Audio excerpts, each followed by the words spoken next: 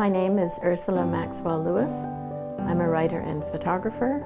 I was born in Scotland and grew up in various parts of the world, but have lived in Surrey since 1977.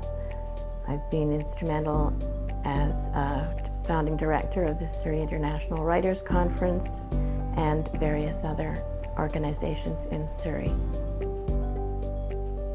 My mother once said to me that I was a joiner upper. I didn't realize that, but it may be true.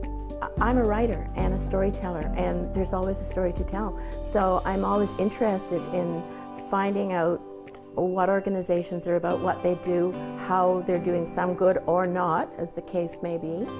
And I enjoy those stories, and I like to try to make a difference if I can. It, it wasn't intentional in the beginning, but that's but for Surrey, um, it seemed to matter, and I feel it's important. History for me has always meant that I feel at home in a place. When I get to know the history, I, I feel at home. And so that was part of the reason that I became so involved with historical things in Surrey and got to know the history, more of the history of Surrey, uh, and like working within it. Um, I travel a lot, and so for me, promoting Surrey as I go is another way to carry that history with me.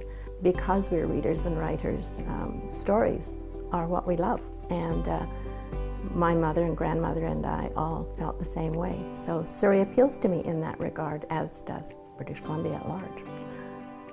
For arts and heritage in Surrey, I would like to see more emphasis on the written arts, on literary arts, not just because I've been so involved with the Writers' Conference, but there is so much to tell and there's so much to write about.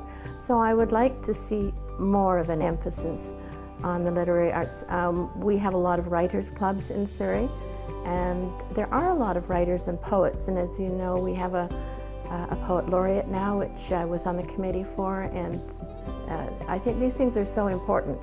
And again, it comes back to history and telling the story. And Surrey has a lot of stories to tell. So I'd like to see more in the way of encouragement to the literary arts at large and writers. As a founder and publisher and editor of the Cloverdale Reporter, I had the privilege of, of getting to know so many people, and there are characters in Surrey that are that uh, old and young, who are so interesting. And the people that came into the reporter office um, with stories, um, who wanted to tell me their stories. And it really, it, it just made so much difference in my life.